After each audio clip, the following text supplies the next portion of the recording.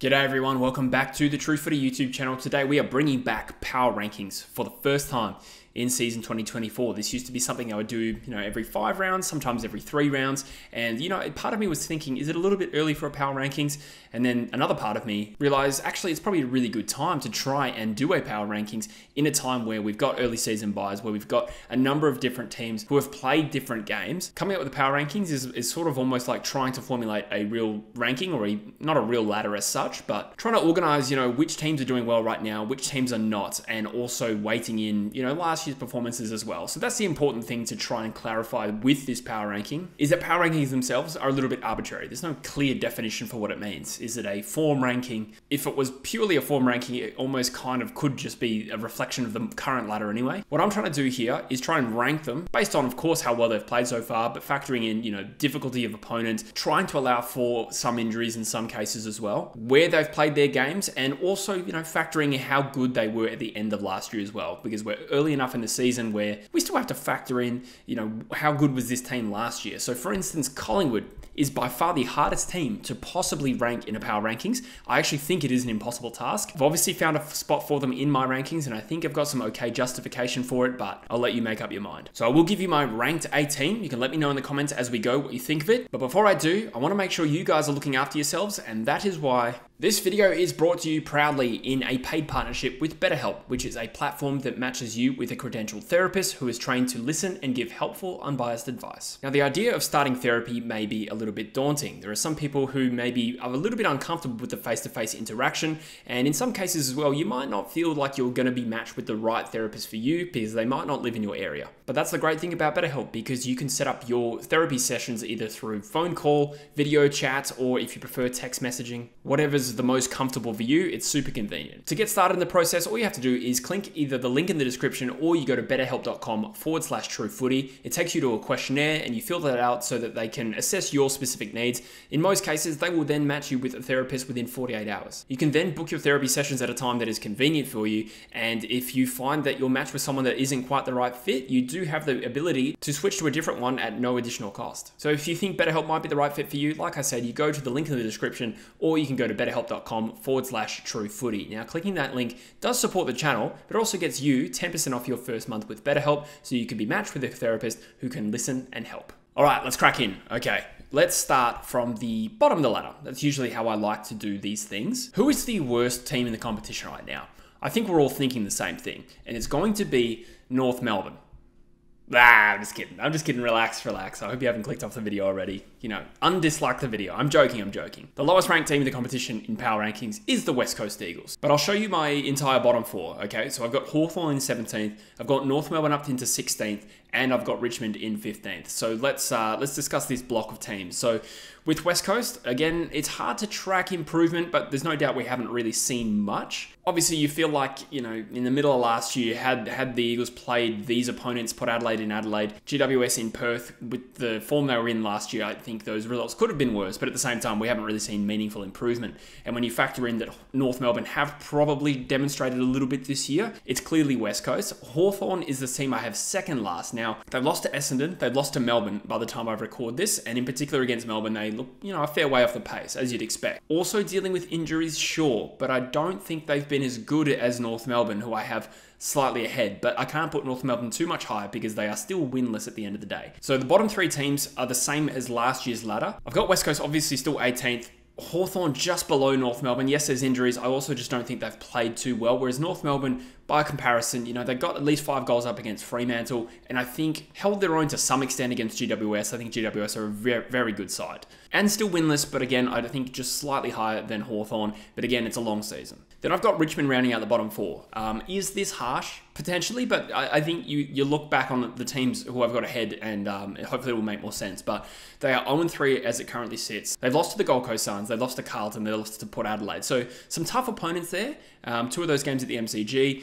I think they've actually been pretty good. I think they're clearly, you know, uh, clearly higher than North Melbourne, Hawthorn, and West Coast. Also, when you factor in a little bit of last year's form. So if Richmond start ranked higher than North Melbourne, North haven't done enough to leapfrog them by any stretch. And I think Richmond has coped really well with their injuries, but nonetheless, they're still winless, and therefore I can't have them too much higher. But things can change. I've, I've been quietly impressed with Richmond, whilst also pessimistic about how this year might go for them. So that's one block of teams I want to discuss. And then we've got from 10th to 14th, this is a block of teams that uh, sort of, at least in my mind, were kind of a little bit hard to to separate, you know, in preseason predictions with a couple of exceptions. So let's so I'll show you these five teams now. We got Fremantle, then West Western Bulldogs, Adelaide Crows, Essendon, and the Gold Coast Suns. So let's try and dissect why I've got them in this order. On the bottom tier, I've got the Gold Coast Suns. Okay, so this might be a little bit controversial, a little bit harsh on them because, again, we're not just factoring in how well they've played so far this season.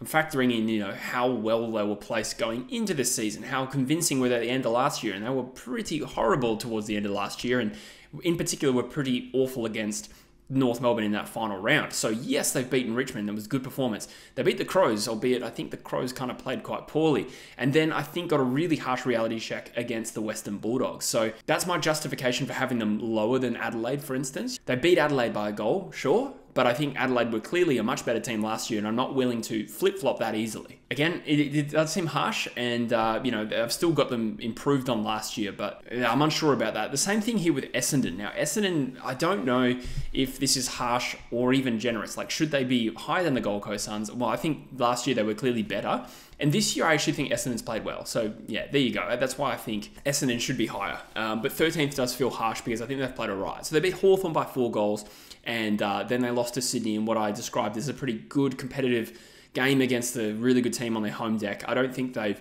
you know disgrace themselves by any stretch. I think they can be relatively content with the performances so far and some performances from young guys in particular as well. But they finished the year so poorly last year that they don't come into this with a flattering starting position. So so far, par for the course, they've been decent but the way they ended last year means they've still got to do more to, to rise up these rankings. Then there's the Adelaide Crows, and again, Adelaide haven't looked good. Essendon has probably played, played better than Adelaide to start this year, but Adelaide were, you know, by the end of last year, a much better team. So again, I'm trying to respect that as well, rather than just completely throw it out. They lost to the Suns. I don't think they were good until the last quarter.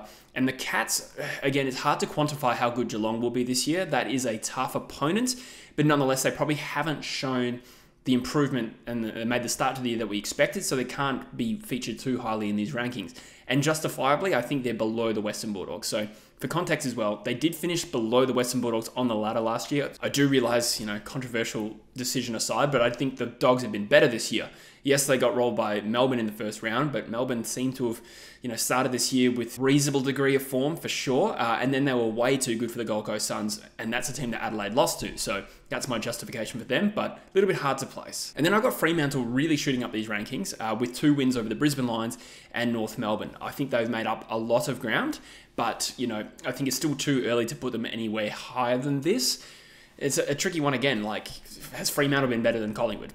Yes, they have been a lot better than Collingwood to start this year. And if they were playing this week in Perth, I would be tipping Fremantle. But I don't want to throw out last year's performance entirely, and we are talking about a team who finished fifth last. So I think shooting up from 14th you know, on the ladder to being ranked 10th on the power rankings and making up sizable ground, I think that is respectful to what they've done. And, you know, who knows where they go from here. Now, the next group of teams is tough to group, okay? Um, I've got the Brisbane Lions in sixth, St Kilda in seventh, Collingwood in eighth, and Geelong in ninth. Now, again, I have no idea where to place Collingwood, but let's start with Geelong. So they've had two pretty good wins to start the year. A win at GMHBA against St Kilda and a good win in Adelaide against the Crows. And again, I think they're making up ground. But I think the reason they're probably at the bottom of this group is because they started this season without that same level of backing because last year wasn't a great year. Yes, there were injuries. So you could make the case Geelong could be higher, but at the moment, on the available data, I'm unwilling to put them too much higher. The three teams above them in this group here all finished significantly higher last year. So therefore, it's going to take a little bit longer for Geelong to fully leapfrog those. And then we got Collingwood. Again, so where the hell do you put Collingwood? The best team in the competition last year started the season really poorly. Not like West Coast bad, obviously, but you know, it's not just that they've lost narrowly these games. Like there's genuine question marks on the way they're playing their football. So I want to be respectful of the fact that they won the premiership and we shouldn't see them drop down the rankings too rapidly because of a bad start to the year, because they could pull themselves out of this hole. But at the same time, I couldn't justify having them, you know, above St Kilda, Brisbane, and all the other teams in the top five, which I'll get to. Then there's the Saints. The Saints just beat Collingwood, fair enough. They did lose to Geelong. This is where it gets iffy. Like you could make the case that oh, maybe Geelong are better. Uh, you know, I kind of think maybe if that wasn't at GMHBA, I probably would have backed St Kilda in to win that game. It was pretty close in the end. Also factoring in St Kilda, you know, made a home final. They did lose it, but starting from a higher position, solid start to the year, like what I've seen from the Saints. To be higher, they probably need to start beating the teams that I've got higher in these rankings. Then there's the Brisbane Lions in six. Now you can make your own mind up as to whether this is generous. I, I would put them, you know, comfortably higher than Collingwood uh, in terms of their performances. So uh, the thing is, with the Carlton loss they did get eight goals in front. I think I think it was 46 points the margin. And I did criticize their performance in the second half for sure, but at least it was against a really good team. It was only a one point loss in the end, and they did have a blistering first half. Same thing in Perth against Fremantle. We still don't really know what to make of Fremantle yet. And Brisbane did have a good start, ultimately beaten on the day. They haven't looked great, but also considering the lofty position from which they started this season, certainly in terms of rankings, you know, uh, you know, one of the premiership favourites for sure. I haven't seen enough to see them drop too hard. So hopefully, so far, I haven't lost you. Let me know in the comments if I have. Now let's move up to my top five. Um, now, again, I think we're splitting hairs between some of these teams, but let's start from the top this time. I think the number one team for me is GWS, and then Sydney, and then Carlton, Port Adelaide, and the D's. Now, it's hard to, to split between GWS and Sydney. Why did I go for GWS? Well, I think probably the main difference is, is because they ended the, the season last year as one of the form sides of the competition, nearly knocked Collingwood out in that prelim, and I think you have to be respectful of that. Has Sydney beaten tougher opponents? Arguably. So both teams have beaten Collingwood. Uh, then Sydney's also beaten the Demons and the Dons, whereas GWS's other wins have been North and West Coast. Now, you could make the case that Sydney's shown more this year. On the other hand, you can only beat the teams that you've got in front of you. And GWS probably started the year, you know, ranked higher had I done a preseason one, which I didn't. But, you know, I, I would have thought they would start from a higher position. So splitting hairs between those two, I think that they're clearly the best two teams so far. Carlton just behind them, the basis of that, you know, great win at the Gabba against the Brisbane Lions. Won't take too much away from them. You know, got seriously challenged by Richmond. I thought they, you know, Richmond played well, held their own nicely, um, and they're all another team that's coming off a prelim. So probably just maybe shown a little bit less than Sydney, but you're probably splitting hairs there. The way Sydney have played as well has been really compelling. So let me know if you disagree with that top three. And then you got the power and the D's. I think both of these guys are going solid. Both of these sides were straight sets exits last year.